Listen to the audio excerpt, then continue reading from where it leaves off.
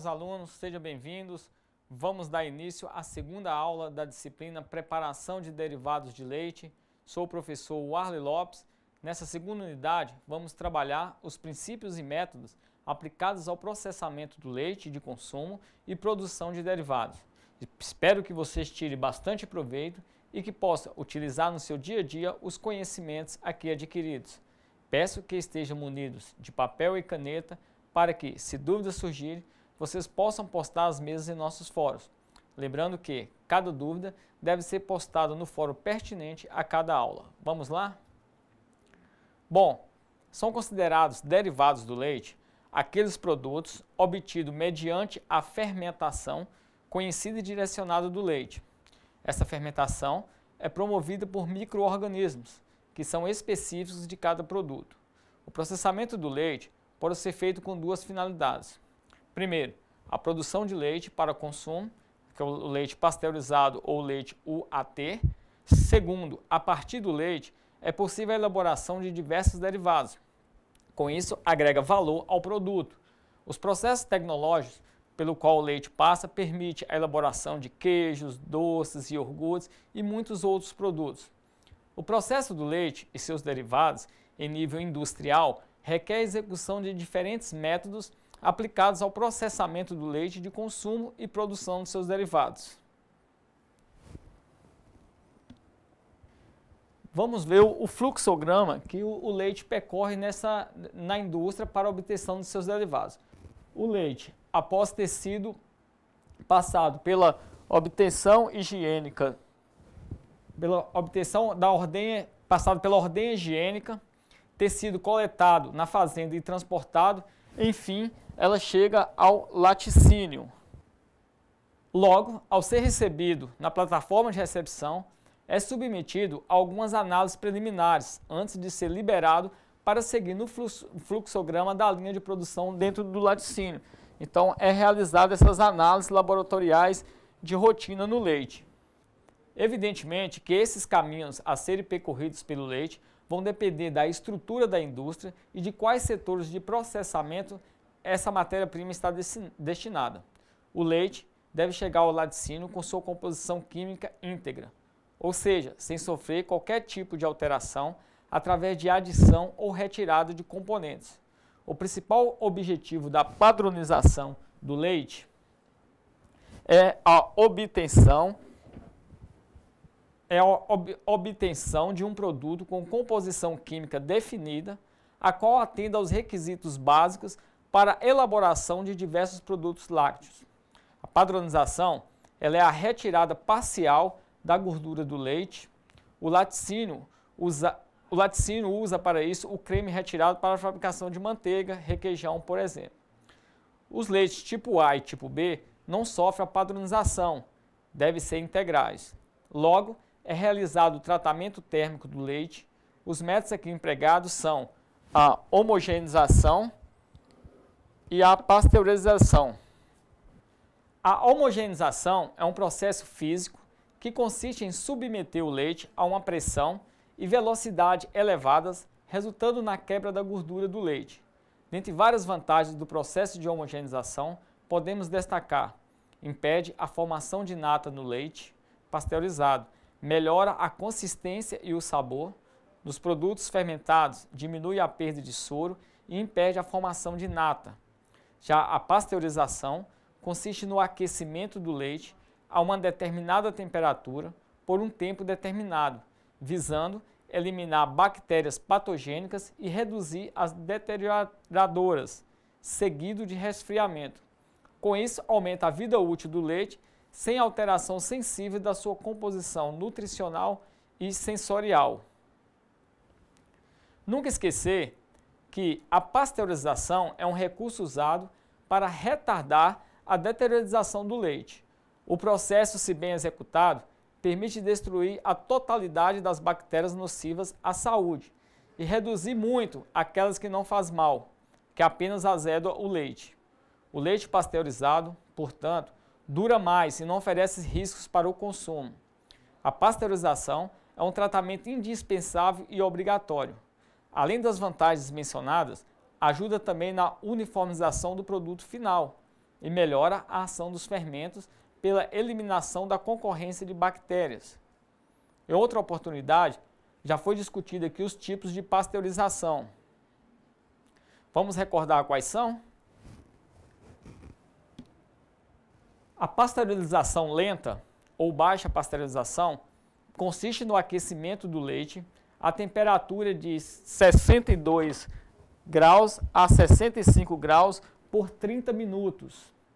A pasteurização de curta duração, ela consiste no aquecimento do leite em fluxo contínuo com trocadores de calor entre 72 a 750 graus. 72 a 75 graus durante 15 a 20 segundos. O mais utilizado na indústria é o pasteurizador de placas. Entende-se por, por leite UAT ou UHT o leite homogeneizado submetido durante 2 a 4 segundos a uma temperatura entre 130 a 150 graus Celsius mediante processo térmico de fluxo contínuo, imediatamente resfriado a uma temperatura inferior a 32 graus e envasado sob condições assépticas em embalagens estéreis, estéreis e hermeticamente fechadas. O emprego dos tratamentos térmicos pelas indústrias, qualquer que seja o tratamento, ela tem como objetivo principal eliminar a carga microbiana presente no leite. Para melhor entendimento dos efeitos desse processo, relacionamos no quadro a seguir algumas características inerentes a cada tipo de tratamento efetuado no, no leite. Diferenças entre os tratamentos de pasteurização e esterilização. Nós temos as características, né? temos a, a pasteurização e a esterilização. Então, na pasteurização lenta, a aplicação dela é pouca na indústria viável para pequenos laticínios, como queijaria e outros produtos artesanais.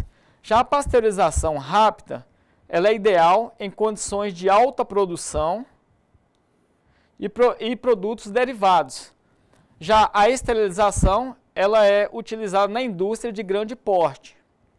Alteração nas, nas características organolépticas, mudar o, o, o sabor, o gosto, o sabor, o cheiro, então, na pasteurização lenta, ela é baixa, na pasteurização rápida é média e na esterilização é elevada, levando o leite ou seus derivados a um sabor de cozido.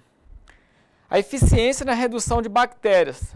Na pasteurização lenta, ela mata 95% das bactérias, na rápida, 99,5% das bactérias, e na esterilização, elimina quase a sua totalidade, 99,9%.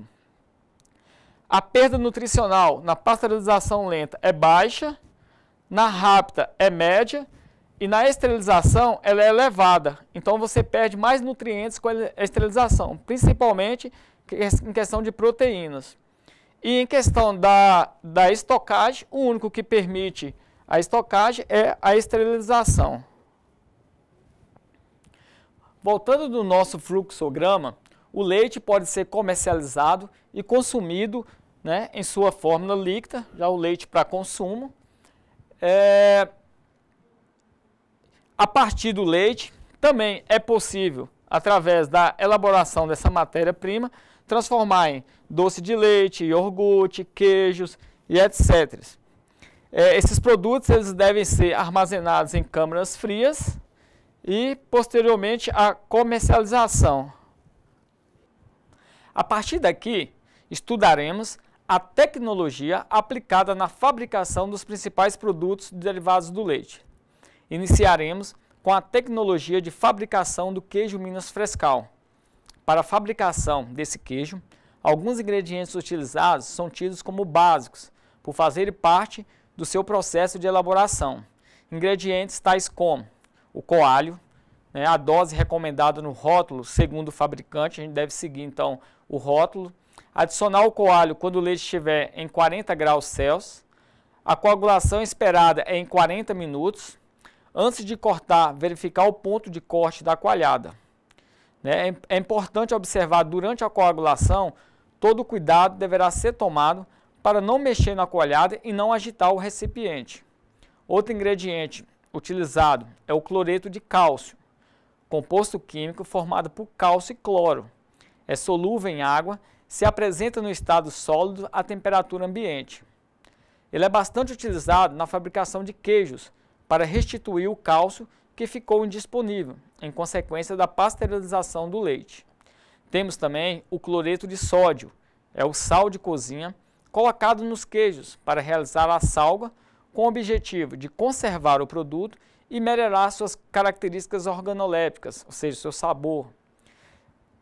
Podemos citar o fermento lácteo também, são sepsis de bactérias que se adicionam ao leite durante o processo de fabricação.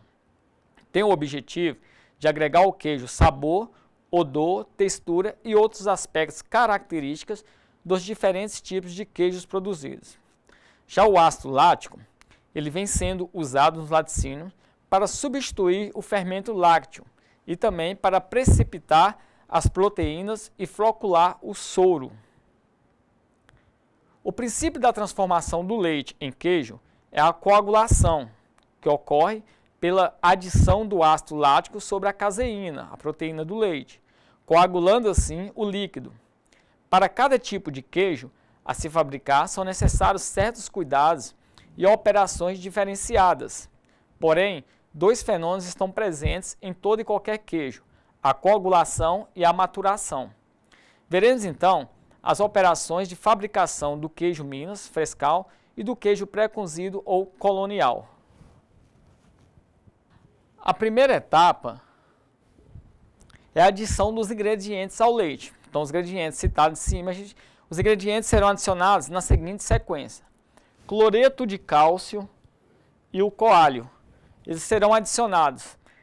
O cloreto de cálcio em solução a 50%, na quantidade de 40 a 50 ml para cada 100 litros de leite.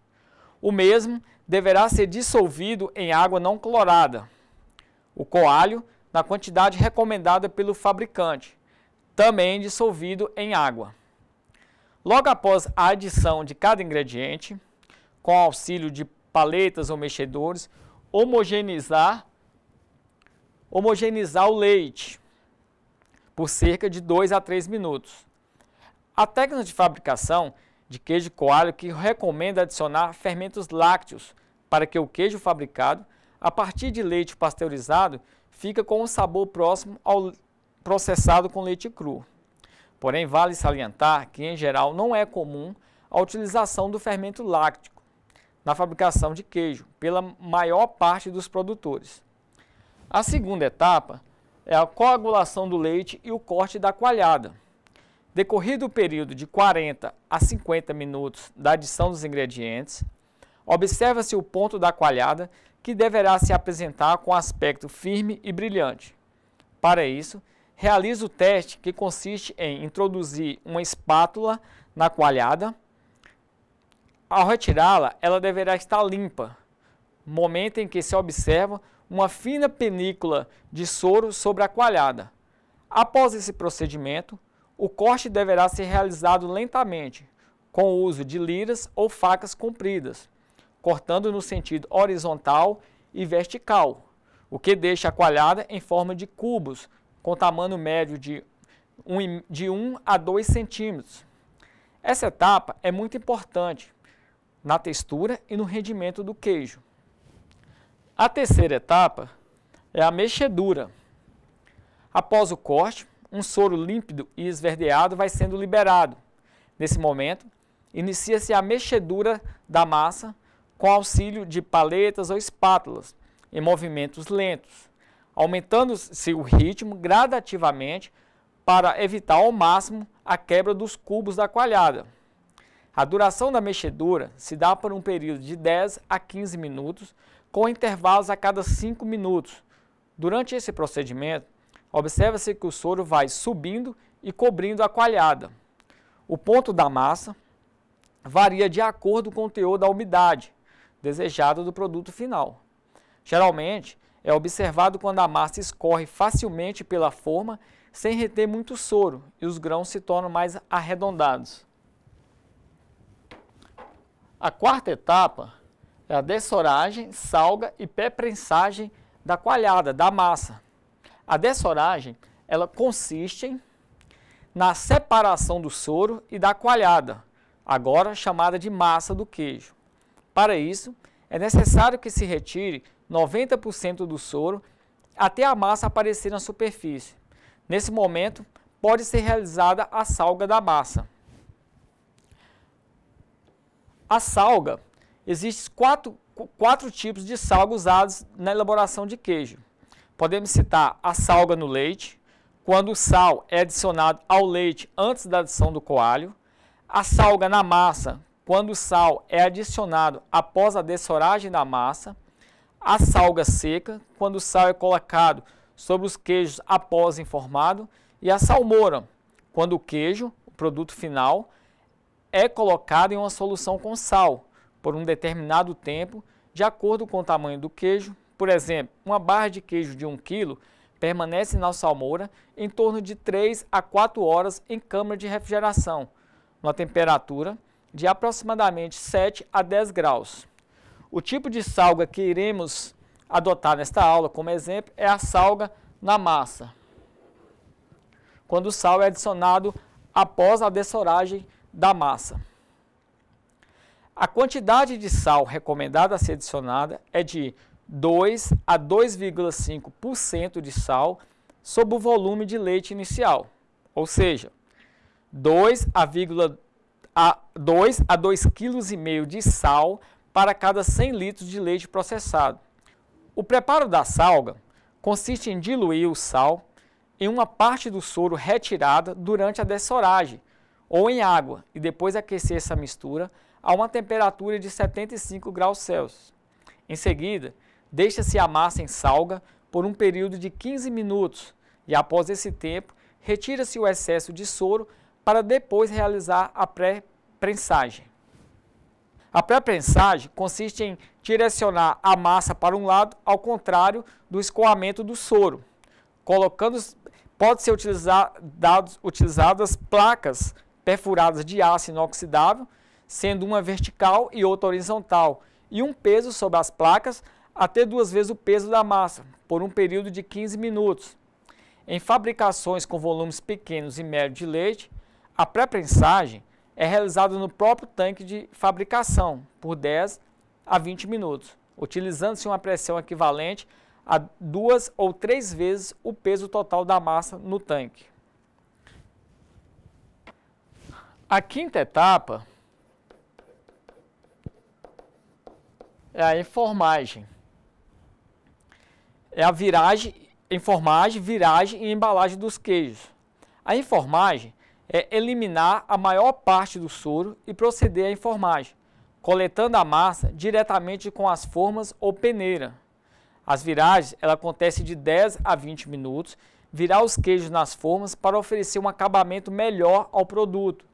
Esta operação deve ser repetida mais de uma vez a cada 60 minutos. É bom lembrar que o queijo Minas Frescal não necessita de prensagem ou ser apertado com as mãos o próprio peso do queijo e a gravidade são suficientes para deixar a massa compactada. Conduzir os queijos à câmara fria para completar a dessoragem, onde permanece até o dia seguinte. Na embalagem, deve ser realizada penícula plástica. Depois dessa fase, os queijos podem ser comercializados ou estocados a 2 a 4 graus, porém sua durabilidade é muito baixa, chegando ao máximo a 10 dias, dependendo do processo de fabricação. Para a produção de queijo pré-cozido ou colonial, além dos procedimentos citados acima para o queijo Minas Frescal, esse tipo de queijo passa pelas etapas de aquecimento da massa e maturação. O aquecimento da massa ele é feito lentamente até uma temperatura de 50 graus. Já a maturação os queijos ficam durante cinco dias sob refrigeração para o processo de cura. Após o processo de maturação, os queijos são embalados, retornando para estocagem sob refrigeração. Tanto para os queijos Minas Frescal e o pré-cozido ou colonial, deve-se utilizar leite de boa qualidade, com acidez entre 15 a 18 graus Dornick, filtrado e pasteurizado. O, o cloreto de cálcio usa-se 20 gramas para 100 litros de leite. Cloreto de cálcio adicionado, como falando, melhora a aptidão do leite à coagulação devido à insolubilização de sais de cálcio durante a pasteurização. Com isso, melhoram-se as propriedades da coalhada e diminui-se as perdas de constituintes no soro durante o corte da massa. Se a pasteurização for lenta, é possível fazer o queijo sem adição de cloreto de cálcio. Veja agora algumas fotos durante o preparo desses queijos. É, aqui mostra o corte, né, o corte da coalhada, é, utilizando a lira, né, que aqui já vai de, ter, dar o espaço de 1,5 a 2 centímetros, deixar a coalhada mais ou menos nesses cortes aqui. É, aqui o corte manual da coalhada com a faca, então segue o mesmo jeito, nesse sentido, vertical e horizontal. Aqui a massa sendo separada, a massa e o soro separados, então a massa ela vai para baixo, o soro, né? Ela sobe aqui. Aqui aquecimento e mexedura da coalhada. Aqui a pré-prensagem da massa, né? Onde coloca um peso aqui, tanto na horizontal como na vertical, para que essa massa libere o soro. Aqui a dessoragem, que é a eliminação aqui do soro, restando aqui apenas a, a massa. Aqui a pré-prensagem né, da massa e retirada do soro, aqui no caso manual, né, pode ser com um utensílio de, de cozinha mesmo. É, aqui a enformagem, né, você vai colocar nas formas, e a viragem da, da massa. Aqui já a viragem dos queijos já, né? Quando o queijo apresenta olhaduras em formas circulares, buracos, é um sinal característico de câmaras de gás causados pelas fermentações microbiológicas de bactérias indesejáveis contaminantes do leite. Normalmente, um leite cru ou mal pasteurizado pode ser a causa. Pode ser também uma pós-contaminação que ocorre na pasteurização. Nesse caso, pode ser o próprio pasteurizador, as tubulações, o tanque de produção e principalmente o manuseio que esse alimento sofre no processo da enformagem. Por outro lado, pequenas quantidades de olhaduras em formatos achatados, retangular, se formam ou pode vir a ocorrer no momento da enformagem do queijo, caracterizando um defeito de prensagem da massa, pois se ela estiver fria, não cola, não se compacta direito formando esses buracos que chamamos de olhaduras mecânicas. Nas imagens mostra as características de um queijo contaminado né, é, e, outros, e outro não contaminado. Aqui percebe que tem os furinhos no queijo, que provavelmente pode ser indício de um queijo contaminado. Já esse aqui, a massa, está lisa.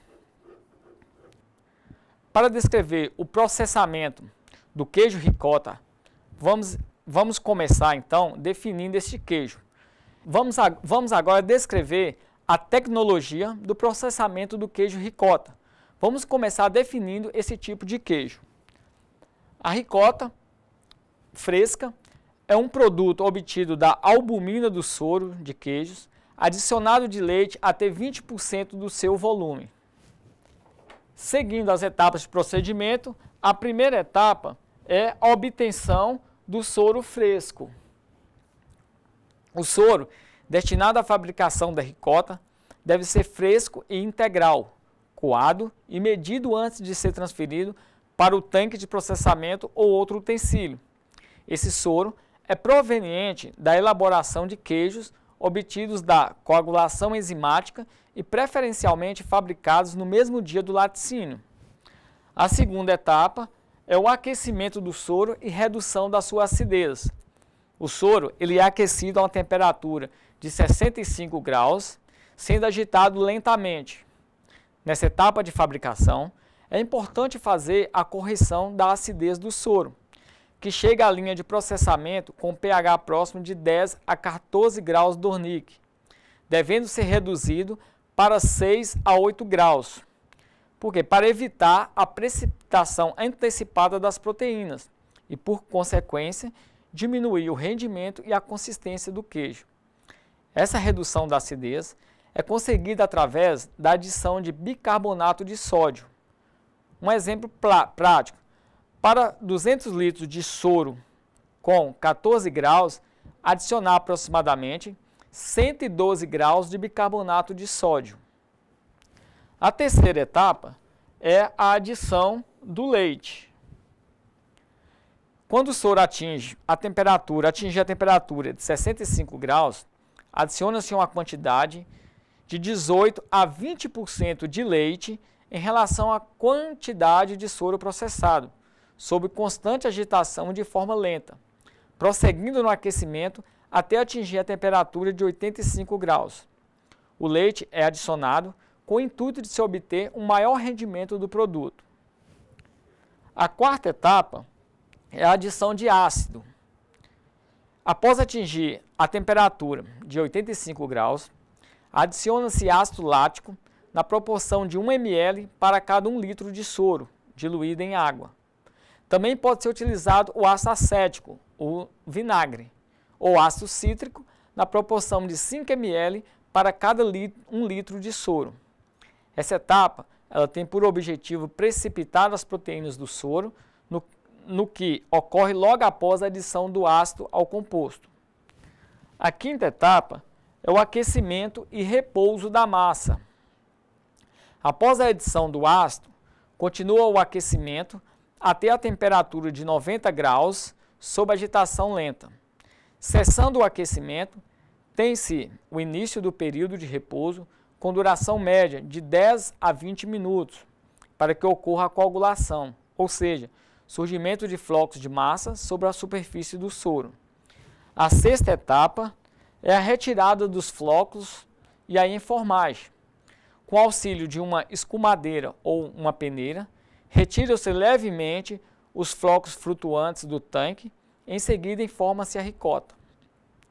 Caso pretenda adicionar sal à ricota, você deverá distribuir a massa em um recipiente e adicionar o sal ou condimentos a gosto. Na sequência do processo, coloca-se a massa em formas de polietileno circulares, podendo usar o dessorador de nalho para forrar as formas. Após a massa da ricota atingir a temperatura ambiente, ela deve ser levada ainda na forma e em processo de dessoramento para a câmara fria até o, o dia seguinte. A sétima etapa é a prensagem.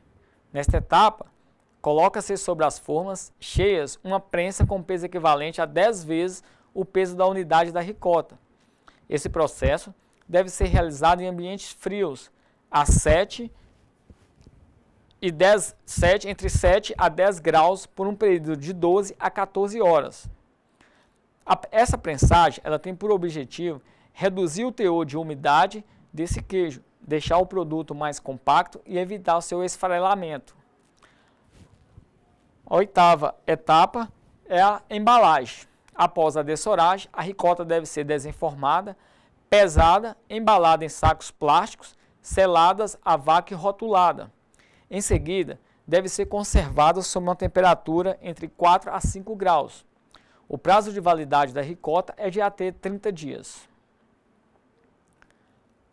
A tecnologia de fabricação do queijo mussarela utiliza leite de boa qualidade com acidez entre 15 e 18 graus Dornick, filtrado e pasteurizado. Vamos entender o conceito de mussarela? Entende-se por queijo mussarela o queijo obtido pela filagem da massa acidificada completado ou não pela ação de bactérias lácteas específicas.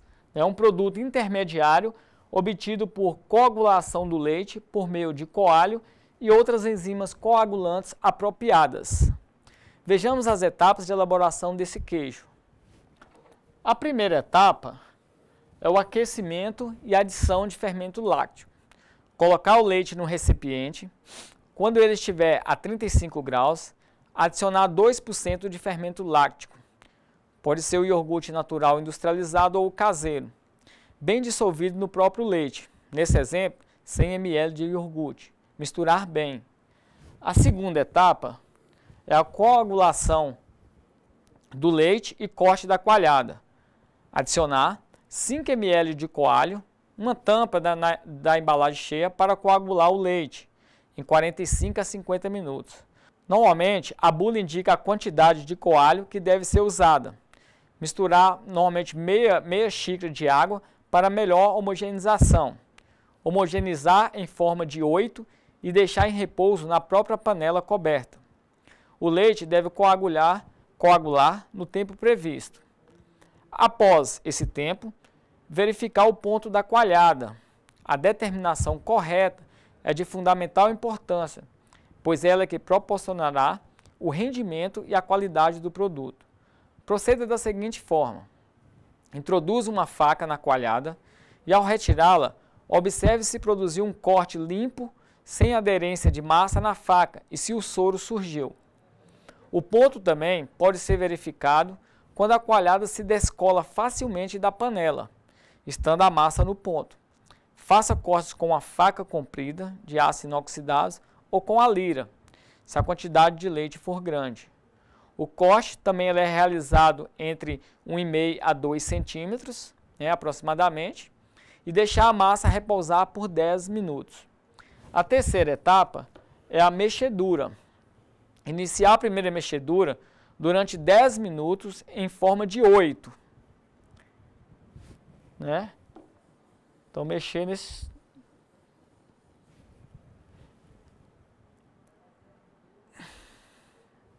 Iniciar a primeira mexedura durante a etapa lenta, em forma de 8, lentamente com uma colher de plástico ou inoxidável.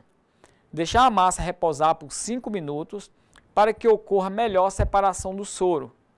A segunda mexedura deve ser mais rigorosa do que a primeira e, paralelamente, deve iniciar um aquecimento lento até atingir 41 a 43 graus por 25 a 30 minutos, que é o tempo aproximado da segunda mexedura.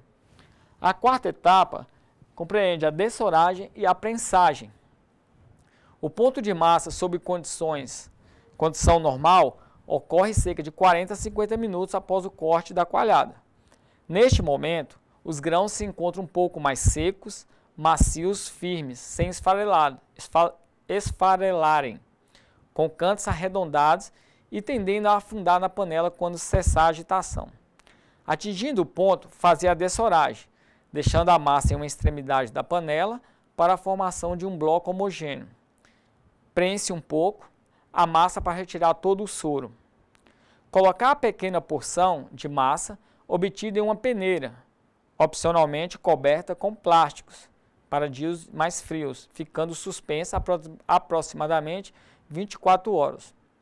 Durante esse repouso, a massa deve atingir a fermentação adequada para a filagem. Se após 24 horas não for atingido o ponto de filagem, pingar algumas gotas de limão e fazer um leve aquecimento em banho-maria e deixando mais algumas horas em repouso. A quarta etapa deverá ser realizado o teste de filagem, a salga e a embalagem. Para o teste de filagem, colocar um pedaço de massa em água quente por um minuto. 85 graus deve estar a água, você coloca um pedaço da massa. Se ao puxar a massa formar fios sem se arrebentar, como se fosse um chiclete, ele está no ponto de ser filada. Se não ocorrer filagem, deixar a massa fermentar por mais tempo. Se a massa estiver no ponto, corte em tiras finas. Aqueça uns 2 litros de água entre 80 a 85 graus em uma panela, e, e em uma panela coloque as tiras de massa e vá adicionando a água quente aos poucos, mexendo até formar uma massa única, que será transferida para uma forma de queijo. Em seguida, mergulhar em água gelada para firmar. Para o trabalho manual de modelagem, como nozinhos e trancinhas, corta a massa em tiras e mergulhar em água 80, água quente a 80 85 e com as pontas dos dedos esticar a massa, alisar e modelar. Depois colocar em água gelada para que endureça em formato desejado. Depois de gelados, realize a salga dos queijos, utilizando uma salmoura fria entre 10 a 12 graus, a 20% de sal, ou seja, 1 litro de água mineral ou água fervida e 200 gramas de sal. O tempo de salga varia de acordo com o tamanho da peça.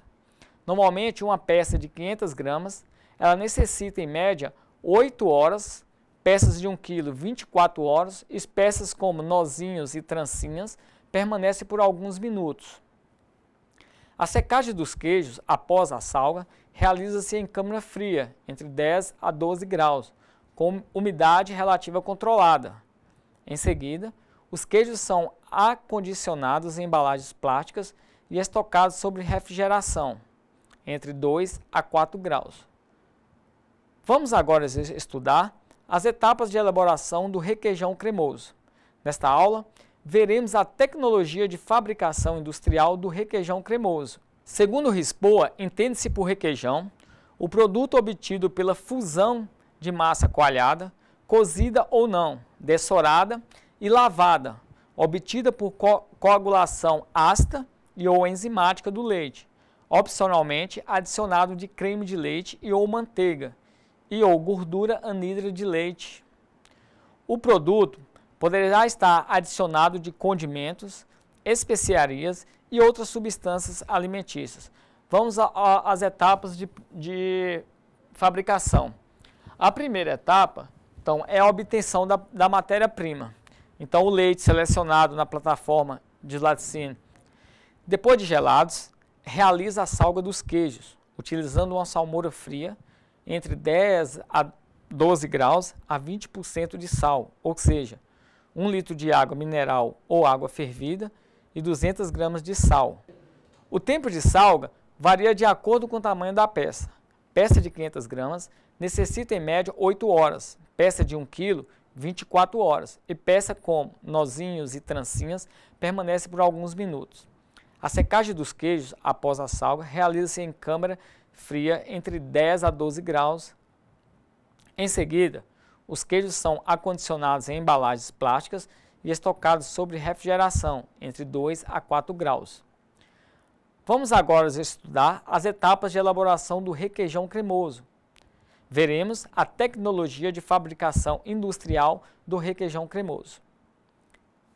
Segundo o RISPOA, entende-se por requeijão o produto obtido pela fusão de massa coalhada, cozida ou não, dessorada e lavada, obtida por coagulação ácida e ou enzimática do leite. Opcionalmente, pode-se adicionar creme de leite ou manteiga, gordura anidra de leite. O produto poderá estar adicionado de condimentos, especiarias e outras substâncias alimentícias. Vamos nas etapas. A etapa 1 é a obtenção da matéria-prima. O leite selecionado na plataforma de laticínios deverá estar com acidez entre 14 a 18 graus Dornick, padronizado a um teor de gordura de 3 a 3,3%, para que em seguida seja pasteurizado, a fim que se obtenha maior controle da qualidade do produto. A segunda etapa é a coagulação do leite. Após a pasteurização, o leite será coagulado, podendo ser através da coagulação natural ou enzimática. A coagulação natural, o leite, após pasteurizado, é transferido para o tanque de fermentação, permanecendo em repouso para coagular por um período de 18 a 24 horas. Depois de passado esse tempo, o leite estará coagulado. Porém, esse processo de coagulação natural é um pouco utilizado, é pouco utilizado pelos laticínios por demandar muito tempo. Já a coagulação enzimática, após a o leite é colocado em um tanque, em seguida é realizado o ajuste de, de temperatura ideal para inoculação do fermento, na quantidade de 1, de 1 a 1,5%. Em seguida, adiciona-se o cloreto de cálcio na quantidade recomendada pelo fabricante. Lembrando que deve ser previamente dissolvido em água não clorada. Logo após a adição de cada ingrediente, com auxílio de pás ou mexedores. Homogenizar-se o leite por cerca de 2 a 3 minutos. Por último, adiciona-se o coalho na quantidade indicada pelo fabricante. O leite ele deve coagular entre 40 a 50 minutos. Né? Também deve ser previamente dissolvido em água não clorada e homogeneizado por 2 ou 3 minutos. A terceira etapa é o corte, aquecimento e a dessoragem da coalhada. O corte da coalhada é realizado lentamente com um utensílio usados nos laticínios chamado de lira. Nós já vimos na, nas últimas aulas. Esse corte é esse corte da massa deve ser feito no sentido horizontal e vertical, né? ficando também no mesmo diâmetro, entre 1,5 a 2 centímetros. Após o corte, é realizada a primeira mexedura na massa, com auxílio de paletas, por um período entre 5 a 10 minutos. Passado esse tempo, é realizada uma pré-dessoragem, onde é retirado em torno de 30% do soro, prosseguindo com a mexedura da coalhada, realizando simultaneamente seu aquecimento até a temperatura de 45 graus para facilitar a separação do soro da massa. Essa etapa é muito importante para melhorar a composição da textura e o rendimento do requeijão. A quarta etapa é a fermentação da massa. A coalhada dessorada é agora chamada de massa lática. A massa é deixada em repouso fermentado, fermentando até o dia seguinte. O ideal é atingir um pH entre 4,5 a 5,2. No dia seguinte, observando o pH ideal para a fusão da massa, ela estará pronta para seguir as etapas posteriores de processamento, que será a pesagem da massa, a quinta etapa.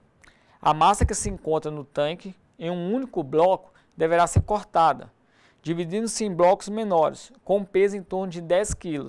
Lembrando que isso é para uma produção industrial, baseada em 100 litros de leite.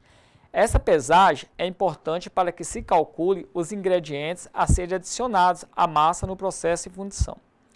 Após a pesagem dos blocos, eles já podem seguir para a preparação da massa do requeijão, ou podem ser adicionados em sacos plásticos e estocados por um período de 7 a 10 dias em câmaras frias. A sexta etapa é a preparação da massa com a adição dos ingredientes. Para o processamento do requeijão, é utilizado um equipamento específico chamado de panela Steffen, em que é colocada a massa láctica e os ingredientes. Antes da adição dos ingredientes, é retirada uma amostra dessa massa e do creme de leite a ser adicionado sendo esses levados ao laboratório para realizar as análises físico-químicas. Como resultados esperados, a massa deve apresentar um pH entre 4,9 a 5,2, gordura entre 28 a 30% e umidade entre 33 a 35%. E o creme, pH entre 6,6 a 6,8 de acidez, 10 graus Dornick e gordura entre 49 a 51%.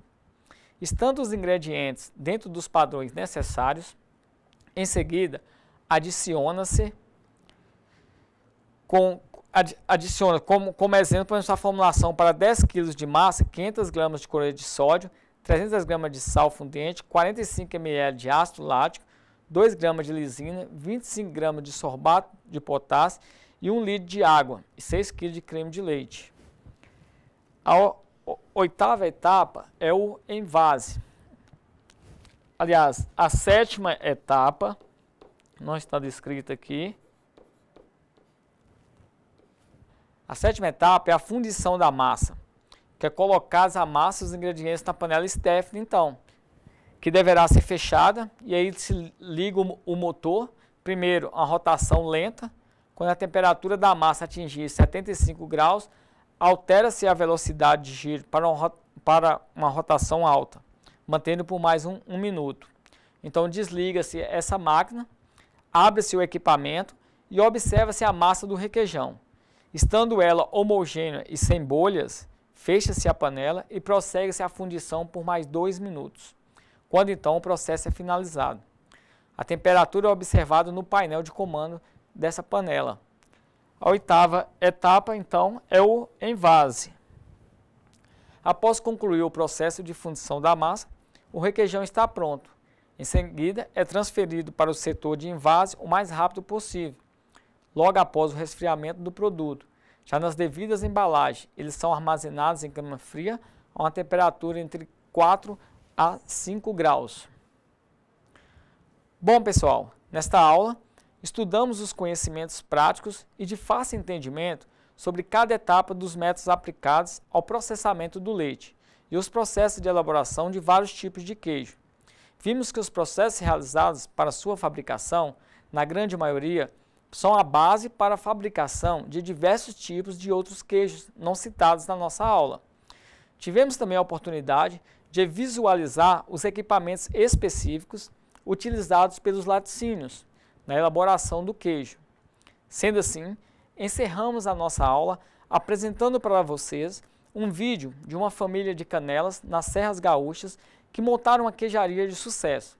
Um grande abraço e até a próxima aula.